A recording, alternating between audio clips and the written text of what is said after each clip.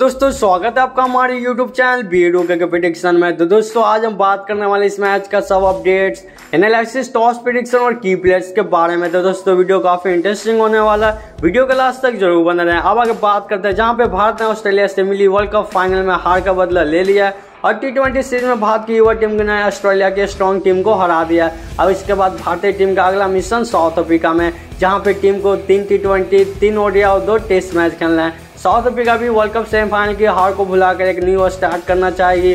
दोनों टीम में खूब यंग प्लेयर्स है। दोनों के कैप्टन न्यू हैं।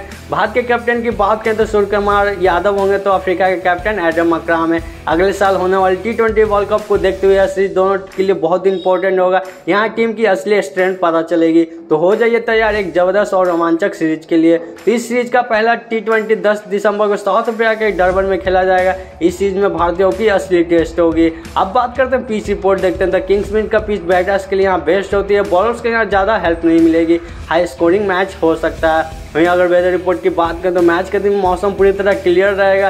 टेम्परेचर 25 से 28 डिग्री सेल्सियस के बीच रहेगा। अगर टॉस प्रिडिक्शन की बात की जाए तो ड्यू के चलते टॉस जीतने वाली टीम यहाँ पे टारगेट चेस करने का डिसाइड करेगी। अब बात करते हैं दोनों टीमों का हेड टू हेड चेक करते हैं। लास्ट टेन मैच के अकॉर्डिंग जहाँ पे इंडिया तेरह मैच जीत के आ रही है तो वहीं साउथ अफ्रीका दस मैच जीत के आ रही है। अब आगे बढ़ते हैं। पहला टीम टीम इंडिया का शॉर्ट एनालिसिस करते हैं। इस सीरीज़ में टीम इंडिया की ताकत, उसकी बैटिंग है ओपनिंग में बात करें तो यशस्वी जायसवाल, ऋतुराज गायकवाड़ टीम को अच्छा स्टार्ट दे सकते हैं नंबर तीन पे ईशान किसान। से इस सीरीज़ में अच्छे परफॉर्मेंस की उम्मीद है। श्रेयस अय्यर को टी ट्वेंटी में प्रूफ करना होगा। कप्तान सूर्या को सीरीज़ में बैट्स रन बनाना होगा। शुभम गिल सीरीज़ में कम करेंगे। अगर फिनिशिंग की बात करें तो रिंकू सिंह विस्फोटक इनिंग खेल सकते हैं। बॉलिंग में फास्ट बॉलर दीप सिंह, दीपक चहर होंगे। मुकेश कुमार को विकेट लेना होगा। मोहम्मद सिराज टी ट्वेंटी में कम करें। स्पिन डिपार्टमेंट में बात करें तो कुलदीप की वापसी होगी।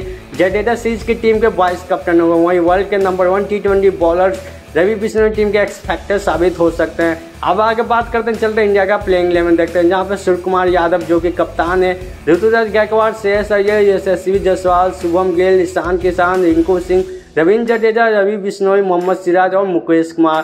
अब आगे बढ़ते हैं। अफ्रीका टीम का शॉर्ट एनालिसिस करते हैं। साउथ अफ्रीका सीरीज़ के लिए बिल्कुल यंग टीम लेकर आया है। कई सारे एक्सपीरियंस प्लेयर टीम में हैं। टीम के कैप्टन की बात करें तो एडम अक्राम है। अगर बैटिंग देखें बैटिंग देखें तो टीम के लिए opening Aiden Markram and Reeza Hendricks करेंगे मिडिल ऑर्डर में काफ़ी स्टेबल नज़र आ रहा है। इसमें मैथ्यू ब्रेक एंड हैनी क्लासन है experience player David Miller team की एक्सपेक्टर है। जहाँ क्रिस्टियन स्टाफ को यहाँ पे अच्छा चांस मिला है अपनी एबिलिटी प्रूफ करने का। और लॉन्डर की बात करें कि रोल में होंगे डिवॉन फेरेरिया जो न्यू प्लेयर है।